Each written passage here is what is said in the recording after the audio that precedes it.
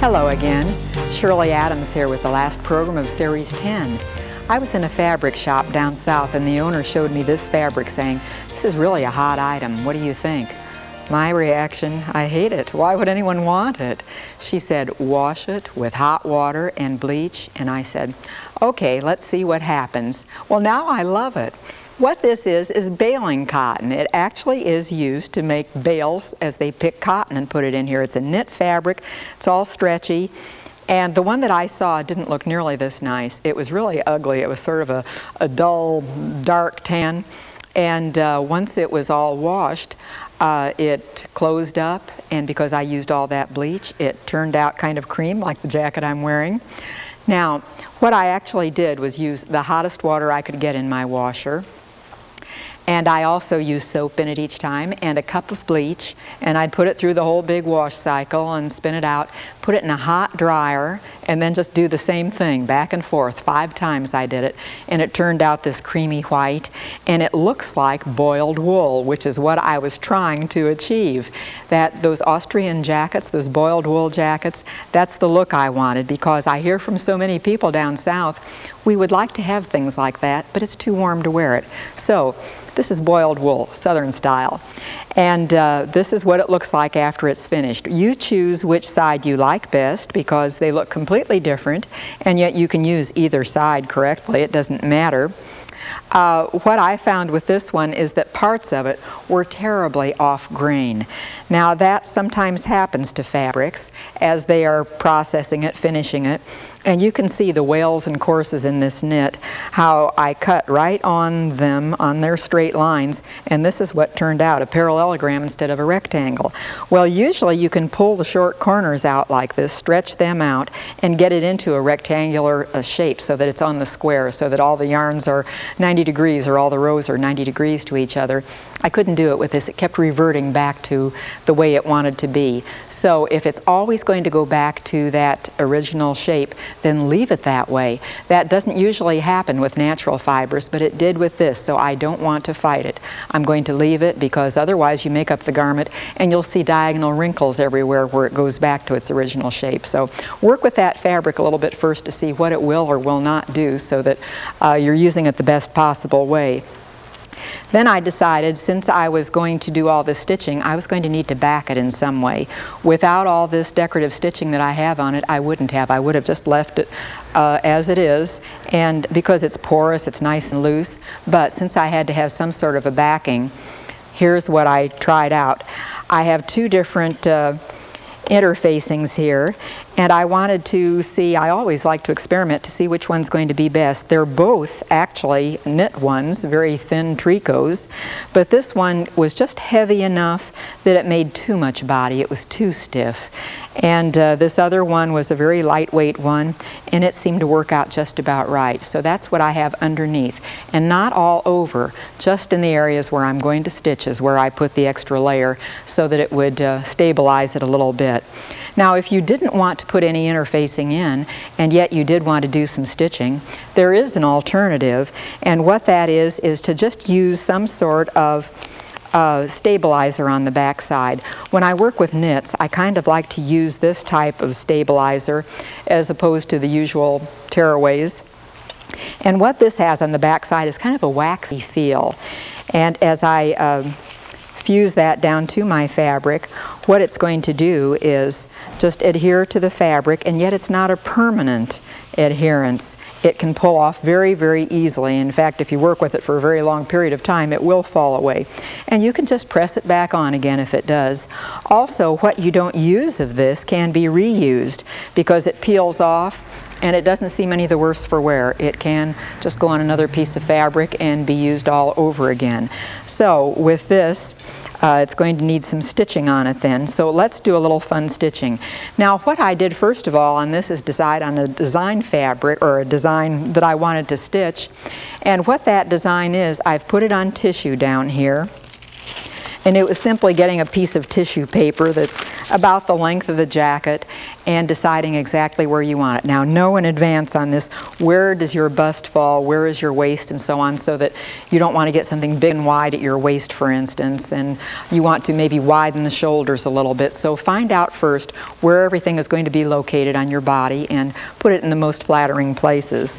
So after I had this little design, just sort of little curvy, curly Q things, I put this down on the fabric and uh, I originally was going to stitch through this. In fact, I tried stitching through it, and here's the result of that.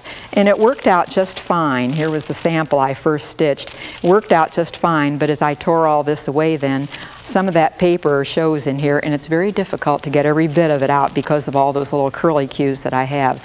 So I decided that's not really the best way. What I did for the rest of this, this other little sample, is just take a marking pen and poke through, just poke little dots through all along my design. And that turned out the way that I actually did this jacket because it seemed the most feasible way of doing it. So every once in a while I see a little blue dot that I haven't removed. And if you don't want to worry about that, here is where I was trying to hit all dots as I stitched around, but a few of them do show. You can always, of course, just spray it with a little water and it'll come right off. It won't be there at all. Try that also on a little scrap of it to make sure. Uh, if you use the purple side, that means it's air soluble and it will probably just disappear in a few hours or a few days. But do try it on a sample to see what happens so that you don't have any hard removal problems later on. And then to do some stitching on it, this was going to be done with uh, a little attachment that I have here on the machine. This Miracle Stitcher is what it is that I'm using. And what that is, is a little gadget that is replacing the whole foot structure of the original presser foot. And it looks a little bit like a darning foot or a little bit like an embroidery foot, but it's different than both the above. And what it enables you to do is just to put some clear thread through the top of the machine, the monofilament nylon thread, and I have embroidery uh, thread in the bobbin down below. And I've lightened the pressure a little bit because I don't want it to push down too hard on the fabric. And then I've also noticed put an extra spool pin up here. What I want that spool pin for is that down in my lap I'm going to drop this yarn and uh, it's going to just go around there just loosely, but it holds it up out of the way so it makes sure it feeds. And then I have both that and the upper monofilament thread going through the little hole that's here. There's actually a little slot. Now this attaches somewhere else. There's a little cup that attaches to the thumb screw that attaches the, that holds the needle in. So there's this little cup on there and that keeps the yarn feeding nicely also. Other things you can use besides yarn, but this worked out kind of nicely. I like the variegated yarns in this case that went from peach to kind of a lavender and uh, just got in some kind of nice colors.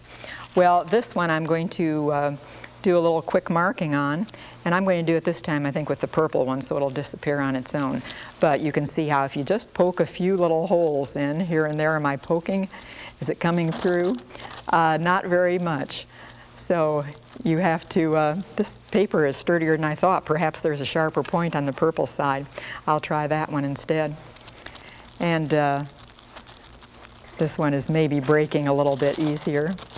Well, anyway, it's just getting a few little lines just to mark pretty generally where you want this to be. And if you don't have the exact uh, place, that's all right too. Now if I would do this one all over again, and it really doesn't want to mark, so I'm going to forget it. I think I used a different pen last time that had a, a more forcible tip on it that would go through. If I don't really mark this, it's okay. Why I marked it in the first place is because I wanted the two sides balanced, which I don't usually do. The easier way, of course, is to do something asymmetrical, and as long as you don't balance it out, then you don't have to duplicate it on the other side, so it's really an easier way to go. After you get it all marked, and of course this is stabilized a little bit on the back side, then it's just some fun stitching. And so I'm going to put the foot down and I have it on zigzag stitching, but I don't want a very big uh, zigzag. I want it to just be, oh, about 1.5 is what I have. That's a pretty narrow zigzag. And the reason I'm doing that is because if you'd straight stitch on this, you'd have to hit right through that yarn every time. And I'm going to be going around in circles and it might not go right through the yarn. It might miss at times. Therefore, if you instead uh, do a zigzag, and I'm trying to get the monofilament in that little slot, there we go. If you instead zigzag, it's sure to catch that a lot better. So push the foot control here and see what we have going. The foot's down. And uh, oh, what I also want to do, I better before I start, is get the feed dog down because if I don't, that's going to fight this and make it go forward instead of free motion stitching, which is what I want to do. So do a little stitching and see what happens here. I like the variegated look here, and you can just put as much or as little as you want any place.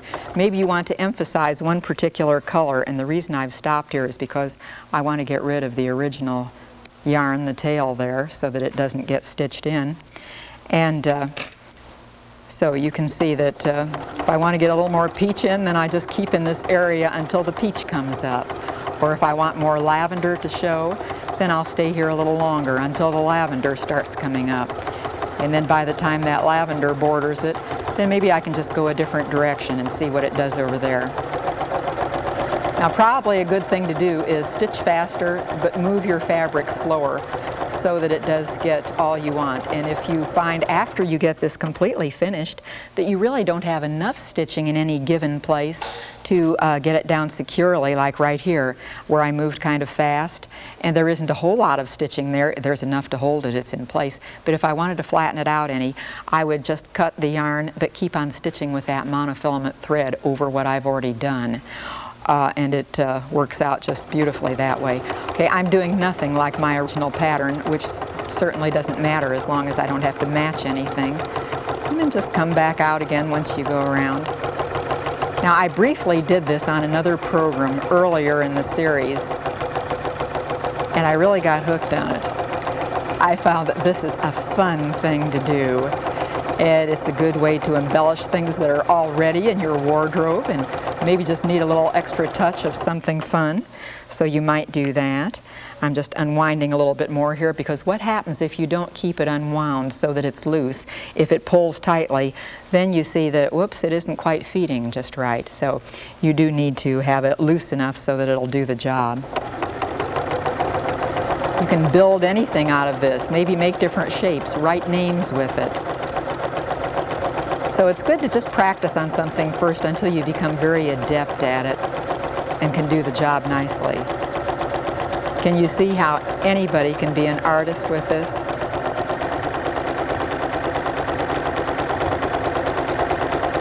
Okay, here's a place back here I'm going over right now where I didn't catch it enough. So took care of it the second pass by.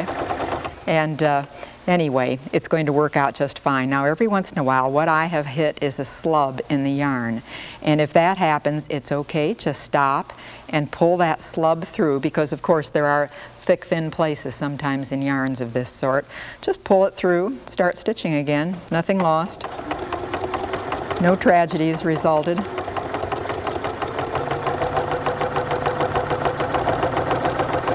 So what I was doing this with last time, I had uh, some grapes, and it was a mohair yarn, and it worked out beautifully with that. It was a very soft, fuzzy yarn. What I have here is some cotton yarn, or perhaps it's linen, maybe a combination of the two. But anyway, everything will work out nicely. What I have down here on the table is a different type of cord completely. And this is the type cord you can get in craft shops. It's for plastic canvas is what it's used for. And that did just as well. What I'm starting here is the shoulders of a jacket, kind of a little western style there. And I first of all used one color and did a little passementerie all uh, over that just to kind of do an outline and then here I was filling in with the red. So anything that you want to do will work out to be kind of fun. Here's another little example of something I had, and this was a picture. It was a line drawing of a butterfly, and it, it, again was just filling in the spaces. Now things like this are nice to do for practice so that you realize, okay, this is how I'm going to do it. What I put down at the bottom of this, around the sleeves as well as the bottom band of the jacket, is just little scrolls all the way along. So with that, I first of all had a straight line. And if I go slowly here, you can see that foot is going back and forth slightly and not in a straight line. So it is actually putting the yarn down, holding it down. Now this is called couching. And I've done couching before, but I didn't do it with this mechanism before. And couching is always just zigzagging over some sort of a ribbon, a braid, a cord. Uh, but what makes this nice is the fact that it holds it in place for you. And then you can do exactly the design you want. So if I would just do a straight line here, and after I do this straight line, just like the border on my jacket, and I'll turn and do this sideways now, then do a little scroll work here. So whatever you do with it, it's easy. Everybody can do it, and you feel so very artistic. Think about doing some of this also to cover up some little accident, like you snipped something that you shouldn't have, how about embellishing it and putting enough of this over that it both mends it and at the same time gives it a little decorative touch. Well, this is a little miracle stitching and this is fun to do. Now, if I hadn't done this on the jacket, let's think of some other things that could have gone very nicely on this same jacket. Here I have some other braids and whatnot. I think that one thing that would look nice on this same fabric would be this uh, lace. Now this is wool lace and so the problem with it of course is once I would have this lace on I would have to be dry cleaning it instead of uh, putting this on uh, or putting it in the washer because that wool is not washable the way uh, the jacket itself is. Right now, everything that's in the jacket is washable, and in fact, not only did I line it with a washable lining, but also I put those shoulder pads in last. They're kind of loose up here if I can get to them. Uh, they're just tacked in there because I want to take those pads out when I wash it. Also, I was kind of thinking ahead, and if you no longer see shoulder pads a year or so down the road, and I'm still going to be wearing this jacket, it's nice to be able to take it out instead of having it between the two layers. So a couple reasons for that. But this would be pretty to put this on in some places to decorate around the neck and down the fronts or wherever. So this is one thought. Now usually you know when you see boiled wool jackets, the Austrian jackets, usually you know how they have a fold over braid for edges. Uh, if you have a shop in your area where they have some of those pretty fold over braids in the colors that you want, that would be another way to finish up the edge. Uh, I didn't have any in my area. What I did have is this flat braid though. And I thought with even this flat braid, I could make a fold over edge if I wanted to border the jacket that way. What I would do with that fold over braid here is on the wrong side, except I use that for my right side, so I'll turn it over the other way. Now I have the wrong side here. And what I would do is just stitch this down to the edge, just straight stitch it here on one side so that the raw edge of the jacket would be under the braid. And then after I have that stitched, I would just turn it to the right side and stitch the other edge of it and it would be a nice border to have all along. So this would be another idea. Something else that you might do is put two rows of this together to make your own fold over braid. And the way you would do this is to put the two rows right together. If you have an edger or an edge joining foot that you can use on your machine, you would run that foot right in between the two and then just zigzag them together. And by the time you have the two stitched together next to each other, not on top of each other at all, but just next to each other, then they could fold back to back to put over the edge of your jacket and that would make a nice edging. If you don't have stabilizer in that jacket, be sure that you do put some sort of a stay tape all around the edge under this so that nothing could stretch out, even though most of these braids you buy are not stretchy and so they wouldn't be a problem. Another uh, very soft cord, this silver one, I thought would be pretty instead of the yarn and you could do anything from many stripes of this to using it also on the Miracle Stitcher and uh, doing some scrolly things with it. So a lot of different uh, cords, braids, ribbons you could tack on. You might also just use some sort of a, a, cording foot that will hold it down flat, the ribbon, and do some decorative stitching over the ribbon around uh, edges to embellish. Here's a big fat cord, and this one you cannot put down by your machine probably. This is one where you have to uh, just put it on by hand because it's just too big to go in under any kind of a foot and be stitched down to your jacket. But this might be a good idea. As well as putting this uh, roping all around the edge, you might leave places loose here and there to use as button loops so that it can button. What I've done is just put button holes in this. Once we get down to the buttonholes, they're here. Just machine buttonholes is what I've put in. But also I said I've lined this, so let's look at how you can do a lining. What I have done on mine is, first of all, I wanted to, on a couple little scraps here, decide what am I going to do to finish the edges, all the seams. And on this one, I have absolutely nothing done. Now think about this. It's knit, and it actually won't ravel, so it's okay to do this with it, but especially the fact that I was putting a lining in mine. I wanted to just have this raw edge because it was the flattest way possible. We are so used to, most of us, using sergers to finish up raw edges that we kind of depend on that. But for those of you who don't have sergers, do you have uh, an overcast foot, an overlock uh, foot? Here's one that comes with the machine. And what this one does is uh, do something that's almost similar. It's hard to see since I used the same cream thread, but it's almost similar to a serging stitch, but it's done on your sewing machine instead, and it does overcast that. So that might be a choice also. What I did then to apply this lining, I decided I didn't want this any heavier because it was already kind of heavy. And so uh, what I have done is just put the lining right out to the edge of the jacket. So the lining comes right out there.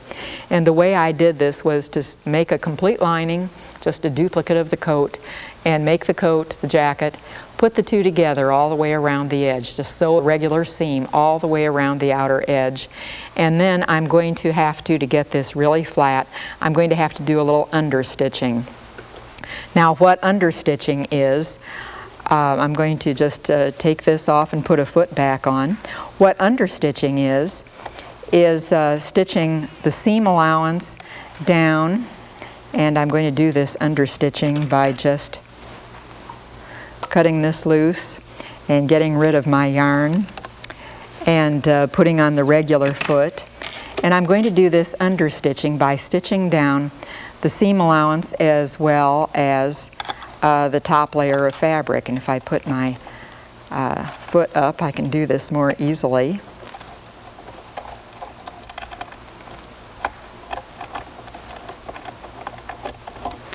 Okay, and I'll clamp the foot back on. Give me some foot, any foot here will do. And I'll put the feed back up and then just do a little understitching on this. So what understitching is, and you always need to do this to get a really good professional look, and I'm going to put it also back on straight stitch. And this is going to stitch just right next to where they join. And notice how I'm kind of pulling this as I do it to get it nice and flat. Then after this is understitched, it would be pulled back and uh, folded to the back side and then I did a little top stitching and pressed it as well so that it would be real flat. I'd like to show you here another one that someone else has done. This vest that's down on the table I have borrowed from Judy Titicus and she's down in uh, Florida, down in the Palm Harbor area. And notice what she's done with hers. Now hers is a little darker one. She didn't put any bleach in it and so it's darker. It's a beige. But she has done some pretty things with uh, machine embroidery by using using the computerized memory cards. She's also done some cross stitch on the back and that also is done with memory cards. It isn't anything that she had to do by hand so it makes it very easy when you do it by machine. I have a jacket up here I'd like to show you also. Now what we've been doing basically is changing the character of this fabric and so in changing the character Here's an example of another character change that's similar to that jacket. When I bought this fabric, it's a rayon cotton combination, but when I bought it, it was a flat fabric. It no longer is. It has sort of um, shriveled up a little bit and put those pretty little wrinkles in it after it was washed. That's what's also been done with this. And we changed the character of this. I didn't. Fred Bloebaum did from San Francisco.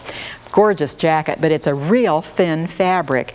And it has been kind of crinkled and it's been quilted to a backing. But anyway, it's changing the character. So this is a thin fabric, but it works out nicely in a jacket. Once the character has been changed, it's been stitched, it's been quilted to some fleece. And so that made it heavy enough that it makes a gorgeous jacket.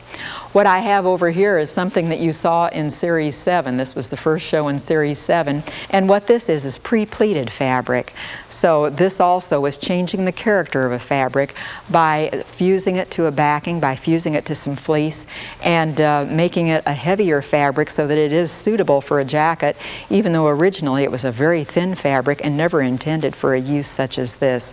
Changing the character of a fabric is something that makes it very interesting when you sew. So to keep this all in line, I also did a lot of other stitching. Back to Fred's here, I'd like to show you the inside because I love what she did here. This is something we usually say don't do it, but she purposely did this and it made a beautiful job. What she has done as she stitched this, as she quilted it, is quilt up and down. The rows go up and down and it made it almost look drapey in here. And it looks beautiful to have the lining doing that. Well, all sorts of wonderful things you can do uh, when you decide to do a little creativeness with whatever you're sewing and do something that's a little off the beaten path, something that's distinctly you, something that's original, something that nobody else has. Maybe add pretty little touches like this. If you have a button collection, how can you make something very useful out of it? So again, it's just using your originality, and this is why so many of you sew. Just because you come up with something that nobody else in this entire world of however billions of people there are, nobody has one exactly like this. And that's one of the things that makes sewing as much fun and as exciting as it is. The fact that you do get to use all your creative talents and do something so original. Well, I've done a lot of fun things and I just can't wait to do a few more because sewing is my very favorite thing. And much as I regret it, this was number 13 of Series 10. And what that means is that this one is over, but not for long.